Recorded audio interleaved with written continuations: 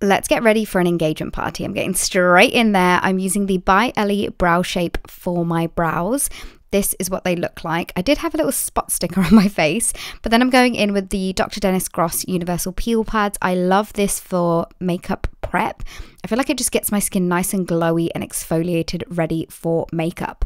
Now, I am going in with all my skincare and letting that soak in before I do my makeup, but I'm taking the Herbivore Supernova Eye Cream and getting that onto my under eyes.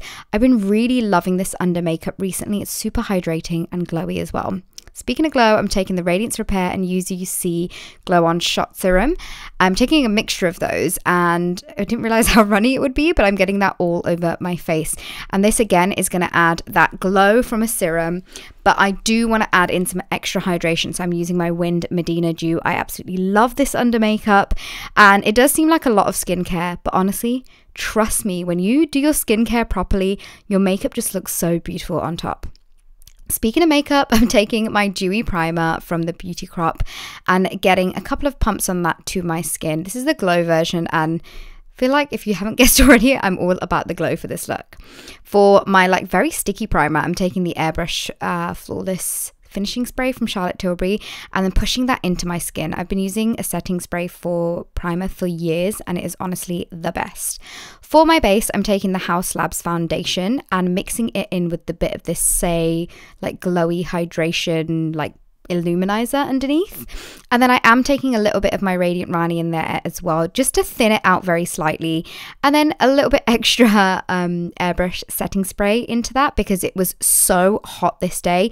And I just knew I wanted my makeup to look glowy, but still not slide off my face, if you know what I mean. So I'm just bouncing this all over my face until I'm happy with the level of coverage. As you can see, you can still see my skin through it.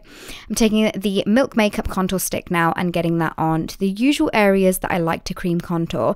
By the time I kind of blended this all out, I was like, I feel like I need something a little bit bronzy on top because this is more cool tone. And if you guys know me by now, I love using cream products. So I did go in on top of that with the Rare Beauty Bronzer Stick. So this is adding the shadow and that coolness, and the Rare bronzer stick is going to add that warmth back to my face, as you can see here. So this I'm just going to blend in as well in like right now. and then once it's all blended in, I'm just going to make sure I'm happy with the way that my bases are looking, making sure I'm taking my beauty blender just to make sure everything's nice and blended out as well. I almost forgot concealer, but I'm taking my uh, Maybelline Eraser Eye thingamajiggy and getting that onto the usual areas where I want to brighten. And I'm using the shade Neutralizer. It's my favorite shade because it's got a beautiful yellow undertone to it. And I feel like it's just perfect. And again, been using this for years. It's tried, tested, and it's incredible. To set everything, I'm taking the IT Cosmetics Bye Bye Setting Powder. And I'm just taking a very thin bit of that onto my brush. As you can see, I was like swirling it in there and I tapped it in as well. And um, this just adds a really nice thin layer onto my face to make sure everything's going to stay put and not look or feel heavy, which is the vibe I am going for. I'm doing that on pretty much all the areas where I applied the concealer and also my brows. And then taking my Back to Bronze bronzer from L'Oreal again. Been using this for so many years. You guys know when I love products because I use them again and again and again. But I'm just getting this onto the usual areas where I just want to set the cream bronzer. And I'm just using the slightest amount too. Taking this Nudestix cream blusher. I'm getting that on to the apples of my cheek. I didn't realize how pigmented it will be, so I did go over the top with a beauty blender, but I don't think I showed it in the clips. And then I realized I need to just do a little bit extra setting, so I'm getting some more of the airbrush setting powder on to my face. And then for highlighter, I'm taking the Rare Beauty highlighter in the shade Exhilarate. This is clearly just taken over my love for Champagne Pop, RIP Champagne Pop. And yeah, it is just, I think it's actually better in formula compared to the Becca ones. And for my brows, to fill them in, I'm taking the Victoria Beckham brow product just to kind of add a few more hairs and just thicken it up in the areas where I feel like it needs a little bit of help. And I just love the fluffy brow trend at the moment. I'm pretty sure I'll go back to doing them normally, but for now, I am loving it.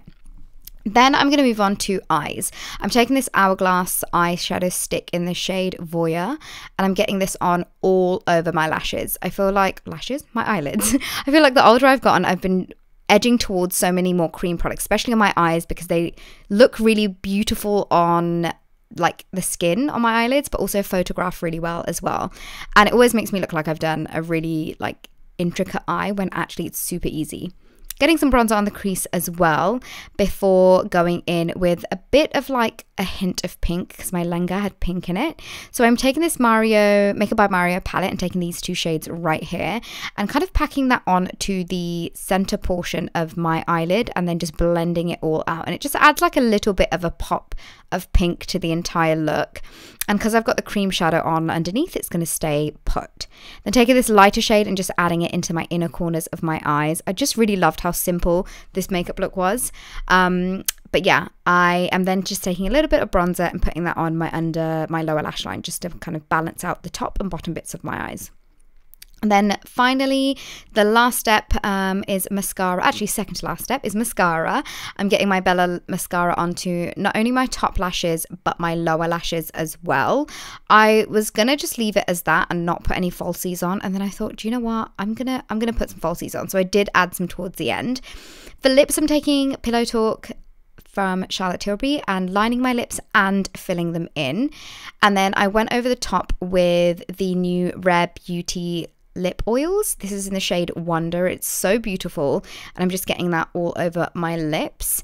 And this is the bit where I was like, I feel like I need to add some lashes on here. So I am quickly just going to go and add some lashes and it just adds a little bit extra volume. Then can't forget my bindi. I feel like whenever I do an Indian look, I have to wear my bindi. And for my jewelry, I used these beautiful earrings from Red Dot Jewels. They are so stunning. And then I also have a matching tikka as well. And I'm going to put that on. I'd left my hair naturally curly, but how I do my little tikka hack, which I learned from Amir Naveed, who is an incredible hair hair artist is find the parting where you want it, measure your tikka, wherever it's going to end, basically create a tiny little ponytail with one of those clear or really thin rubbery elastic bands. And then all you have to do is just hook that in. You can like backcomb your hair and kind of hide that but I really don't mind if people see it. And then that is it. That is all done. I don't like to stick it to my head because I just leave it as it is. I feel like it looks fine and I wasn't going to be dancing or jumping around. But this is the end of my look and this is my beautiful lenga from Lashkaraa. It is absolutely stunning. I really hope you guys enjoyed this little get ready with me and I will hopefully see you all soon in my next video. Sending all of the love and the light from my heart to you guys and I'll see you soon. Bye.